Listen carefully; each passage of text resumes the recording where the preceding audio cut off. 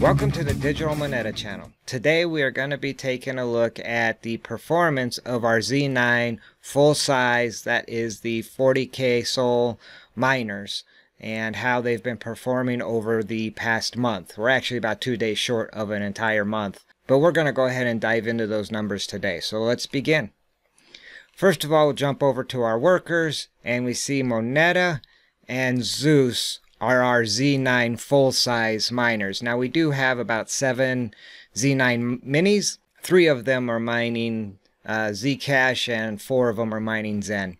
But we're going to be just focusing on our Z9 full-size 40K units. Now we were able to overclock these units and achieve around 48,000 solutions each. And so we are quite happy with that. And if we take a look at what we've actually been paid, and this is confirmed, this has been sent to our uh, Exodus wallet, is where we're actually mining these funds currently. And in about two days, which will actually be the 30 day mark, the full month, each one of the miners will have achieved four Zcash tokens uh, officially paid out. And so if we jump on over to CoinMarketCap and look at the current price, we're looking at a price on Zcash of $119 each and multiplied by the four coins that we will have been paid out, we're looking at a number of $476. And if you divide that by what we actually paid for each miner, we actually paid $3,778 total, including shipping, power supply, everything each. So with a price point of 3,778 divided by the 476, we're still looking at a ROI of about eight months. And we are actually bullish on Zcash, if you actually look when we started mining on September 20th, it was at 112.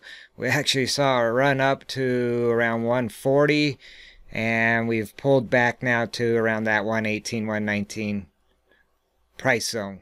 Uh, we actually believe the 140, 150 is realistic. Like I said, we are bullish on it, so that's why we are focusing on mining that. Now, if we jump over to the difficulty chart, we can see that around September 20th, when we did get the units deployed, up and running and mining, we have certainly seen an increase in the difficulty. That will certainly have an effect on our profitability going forward. However, if we can just maintain in this area, which it appears that we really have over the last 15 days or so, then we might be alright. But the reality is it's not going to maintain that. More miners will be deployed. This difficulty will go up. If we can ROI in less than a year on these miners, that means going forward, it's nothing but pure profit. And let's keep in mind that that ROI price point is based on this 118. If we're actually able to achieve the 140, 150 range that we think Zcash can do in the next couple months, then that ROI time frame is actually going to be reduced.